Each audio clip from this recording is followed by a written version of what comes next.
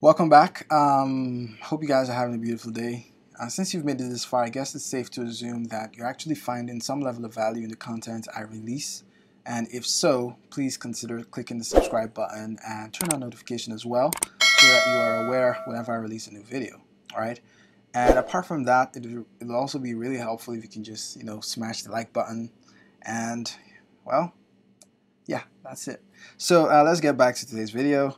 Um, today we're going to be creating the landscape, so um, the chef's special, alright? Pretty much going to do the same thing we've done in the past two videos. So head over to the custom views and the collection view cells, and we're going to create a new group, and we're going to call this dish, um, so landscape, and this is collection view cell, just like that. Then uh, just hold down Command N, Cocoa Touch class, and this is going to be dish landscape collection view cell, we also have to include the nib. So go ahead and click next and then create. Awesome, so now we have that. Let's go ahead and implement the design. Great. So um, let's actually, oh well, let's leave it open for now. So what we're gonna do, this is a landscape, so let's just drag this like that. All right, so the first thing we're going to do as usual is we're going to add a UI view right in there. And we're going to add constraints 0, 0, 0, 0. And then we're going to add a width of about 330. And uh, for the height, let's give, let's chill a little bit. We're going to add an image view right here and we're going to give this guy a width and a height of about 64, I guess. 64. Nope. What am I doing? Great. And we're going to add constraints to 16, 16, and then 16 right here. Awesome. So we can go ahead and increase, right? Increase. Let me see. So this guy has 16, 21, so um, we're gonna need how many? Nope, that's, am I doing? Well, easily, just so 14, right? So um, that's two pixels more. So we're gonna go over to the height and just add two. So it's gonna be 96 and it should be good. Perfect. Next we're gonna add a stack view, a vertical stack that we're gonna use to add some um, labels. And this one we're going to do a little bit different. We want this guy to have a top and a bottom to this guy. So we want it to be the same height, essentially. And then we're going to add constraints to, well, we can make this like 8, I guess, and make this guy 16. Sweet. All right. Actually, let me see. Well, let's make this 68. No particular reason, but um, I guess just so it matches our demo. All right. So I just added two so, oh, 4 rather. So this is going to be 100. What? Did I get math wrong? Let me see. So this is 12, 16, yeah, that's 4. So click over here. For, yeah, that should be 100. Right, perfect. So um, yeah, the next thing we're going to do is to add our labels right into our stack view. So we have three of them, so just duplicate that, one more, just like that. Okay, let me make sure that it is in the stack view. So one of them is not, and great, awesome.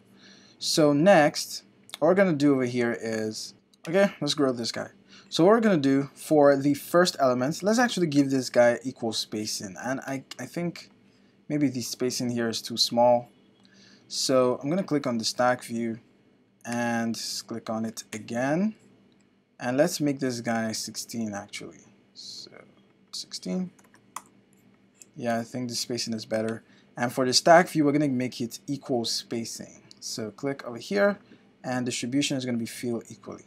Alright, so you can see that the error went out. All of them are to have the same space.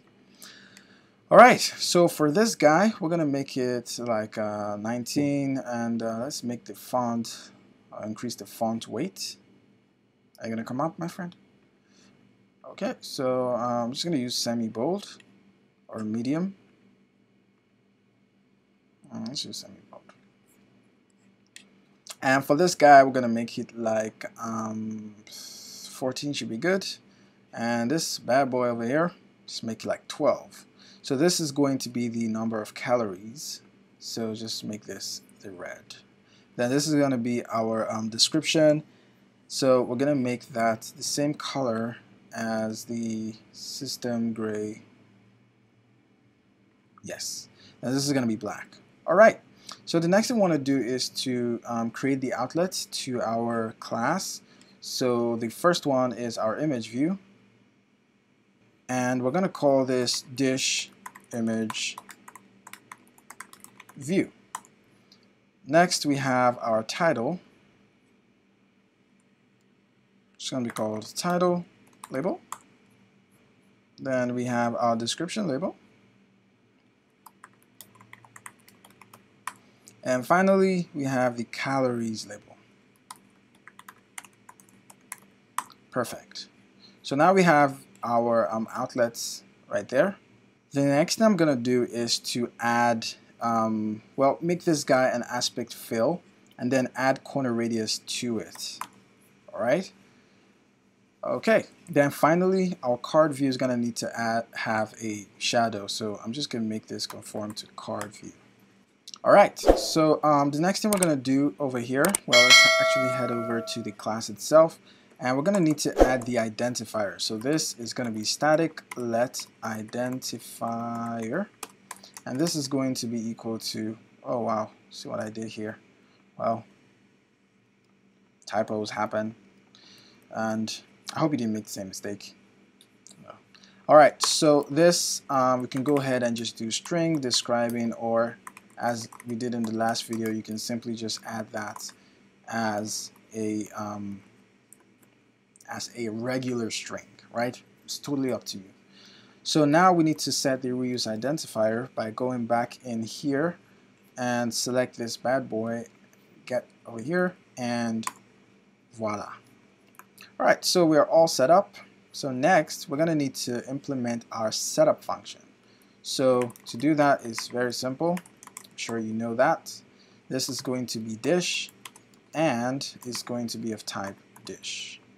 So over here, we're going to say the um, dish image view dot image or kf instead dot set image and this is going to be dish dot image as URL. Next we're going to set the title label dot text and this is going to be dish dot uh, name I believe. Sweet. Then we have the description label dot text is going to be equal to dish dot description.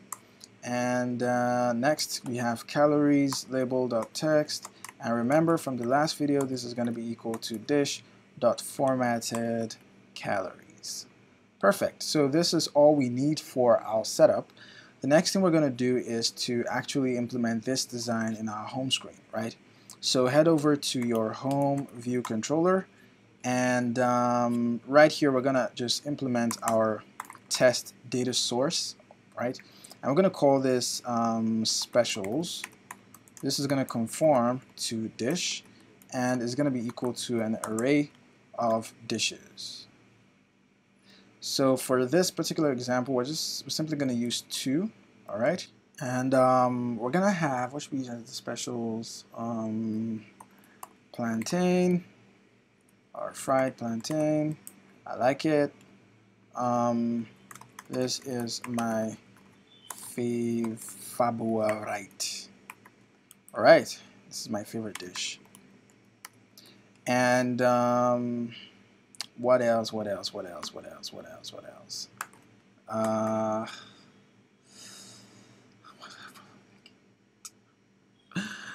beans. Ah, beans and garri that's another awesome, awesome meal, Nigeria at least. So um, this is the best I ever tasted. Well, we leave that. So we have this again, just leave the calories like that. So um, as you probably guessed, we're going to need to register that as well. So right here we're going to say, um, oh, we don't have access to that. So we're going to need to head over to our main.storyboard and create an IB outlet for our third collection view. So just click right here, hold down control, click and drag it right here. And I'll call this specials collection view.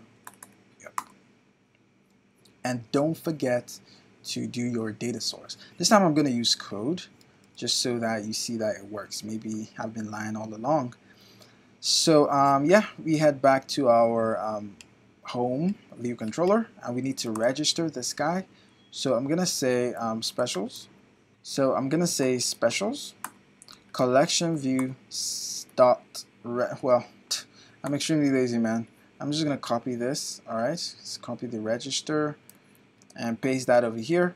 And we're gonna change this to our landscape. So landscape collection view cell.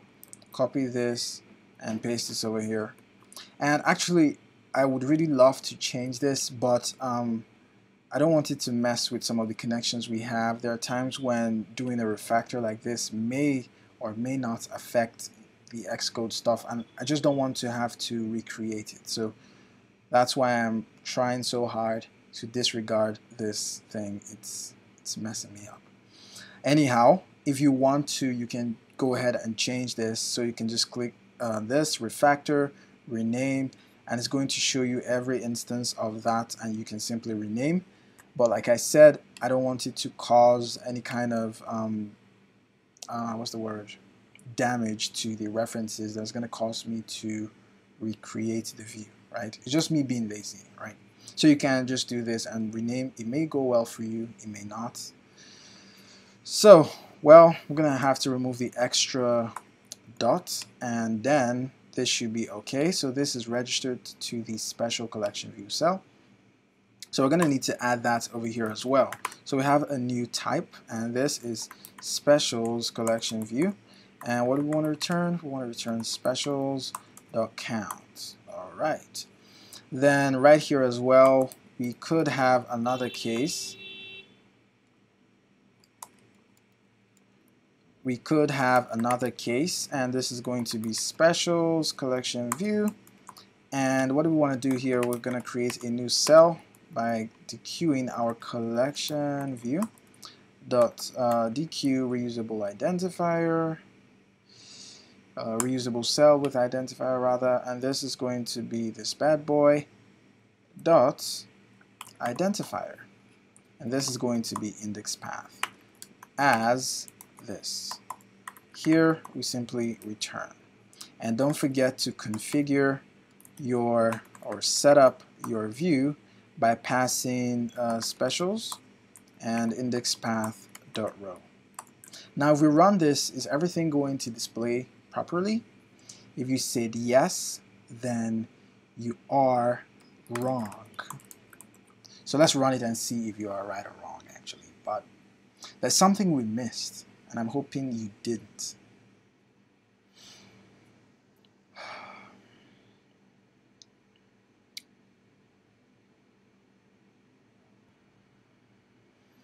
Ah, so we have our view loaded, but we cannot see any of the data. Do you know why?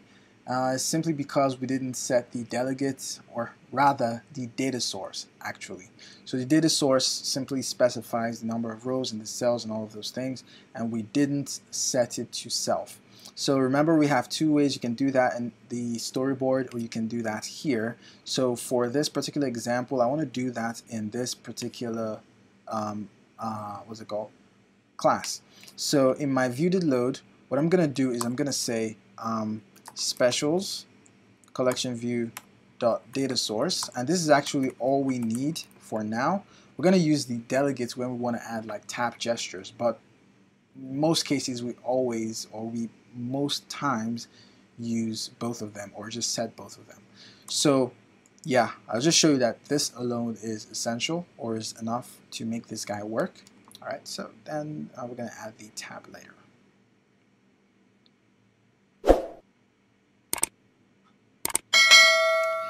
All right, perfect. So we can see that we have both uh, these cells loaded. So, and this, as I said, was enough to do that. We simply add the delegates whenever we want to maybe add some more um, delegate uh, functions, just like we did tap, for example.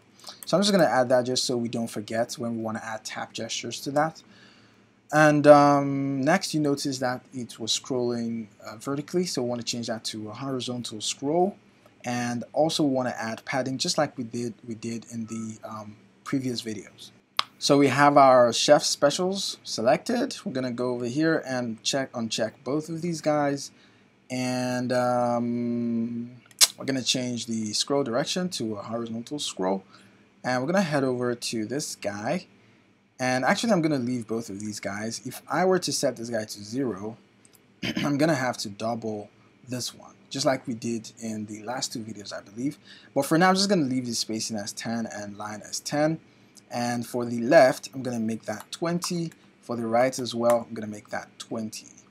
And, hmm, is there something else we're missing? I don't think so. So let's run this and let's see if everything works well. Actually, I remember what we missed. Um, we forgot to remove the clips to clips to bound, I believe. Yep, clips to bounds. And also we're going to need to remove that in our design, in our landscape design right here.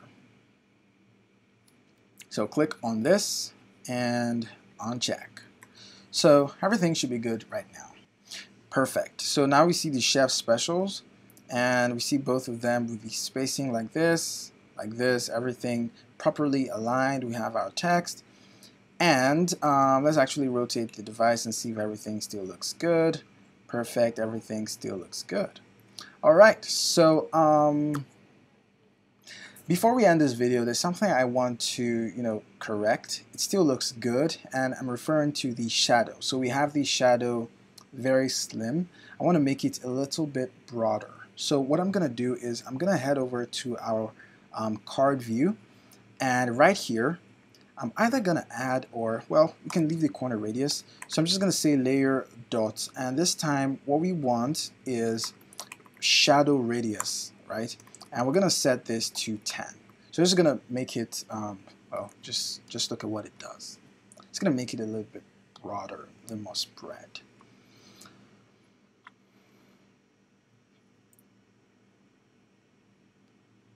All right, all right. So this this looks this looks way better. Looks better, I guess. All right, perfect. So guys, this brings us to the end of this video. And um, in the next video, we're going to work on the detail page. So when you click on this um, uh, video, when you click on a particular cell for popular and chef special, it's going to take you to the full detail of that um, dish, right? See you guys in the next video.